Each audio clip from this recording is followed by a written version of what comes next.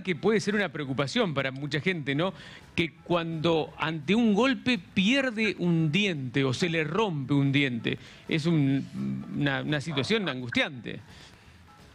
Sí, totalmente. Sobre todo por los diferentes tipos que puede haber de pérdida de sustancia en el elemento dentario que puede ser ocasionada por estas diferentes causas como es traumas, que son golpes, que son al comer, nosotros por ahí masticamos y decimos, ay, ¿qué pasó?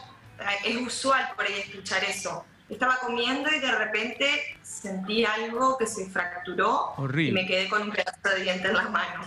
O también por las calles, por supuesto, que van progresando y van rompiendo toda nuestra estructura dentaria y nos vamos quedando sin esa estructura de protección y empezamos a tener diferentes síntomas. ¿Y eso se puede arreglar, doctora?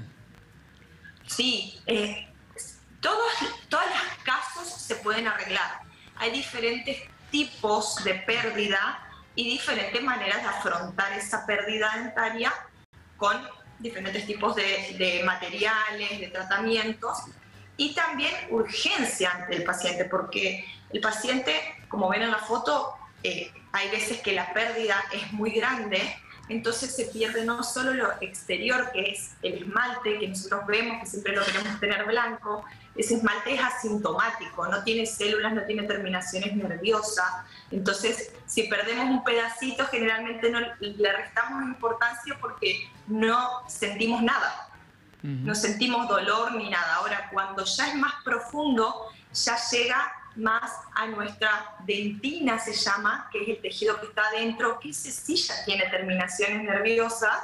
Entonces ya empezamos a sentir cambios de temperatura, eh, si comemos cosas dulces, eh, cuando nos entra aire, cuando nos cepillamos los dientes. Entonces ya empezamos a decir, mm, ay no, esto voy a tener que ir a ver al odontólogo. Siempre que ustedes vean que hay una pérdida de sustancia, que pasó algo, que hubo un traumatismo, acudan a su odontólogo porque se puede prevenir y se puede tratar mejor el elemento dentario si es más precoz al momento de que pasó.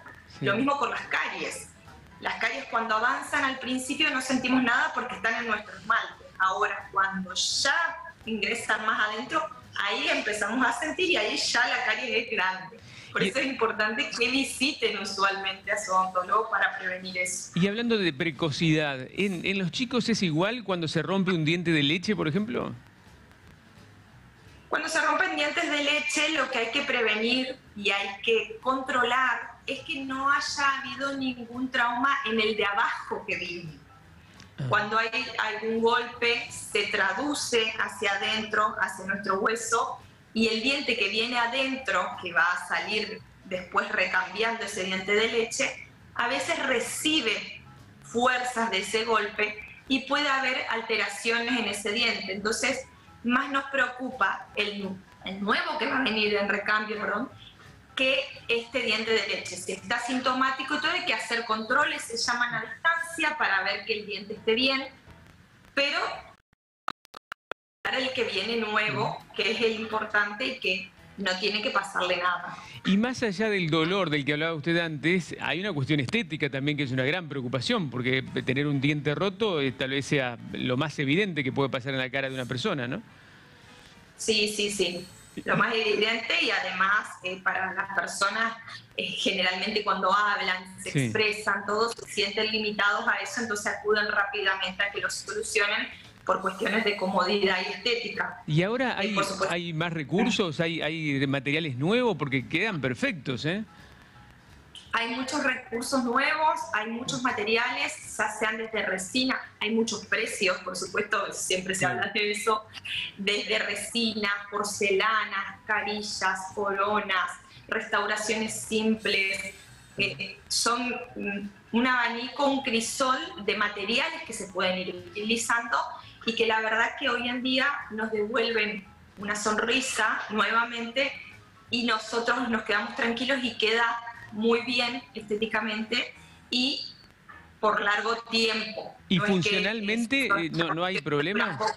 No, que funcionalmente no hay problema, digamos, uno puede seguir mordiendo igual que siempre, comiendo sin ningún tipo de preocupación, ¿no se va a salir el arreglo o hay que tener este, cuidado? Dependiendo de los materiales, dependiendo de la cantidad de sustancias que se pierden en el elemento dentario y dependiendo muchísimo de otras situaciones, de cómo muerde la persona, de si bruxa, que es ese apretar o rechinar los dientes, todo eso se evalúa para ver con qué material se va a restaurar eh, ese elemento dañado y que sea perdurable en el tiempo. Eh, pero sí, hay diferentes materiales dependiendo la, la, persona, el paciente y la situación que haya que restaurar. Y si un diente se rompe un poquito, si, un diente se, se, rompe un poquito y uno no se hace ver, no se hace atender, no lo corrige, ¿puede seguir rompiéndose más? Puede seguir rompiéndose o queda expuesto y ahí hay pérdida de hay alteración, eh, puede al, morder la función cambia, entonces se van moviendo los dientes. Yo siempre les explico que los dientes es una articulación, entonces se mueven siempre. Si hay algún cambio externo, nos ayuda a que se sigan moviendo los dientes, que cambien de posición, que cambien de coloración, o pueden comenzar a experimentar estos cambios de sensación, hipersensibilidad, eh, nos limitamos a comer, entonces usamos más otro lado, nos empieza a doler la articulación. O sea, hay varias eh, eh, cosas aparejadas que nos trae que por decimos, no, no voy, me lo dejo así por ahora, pero después vemos que cambian un montón de cosas a causa de ese problema.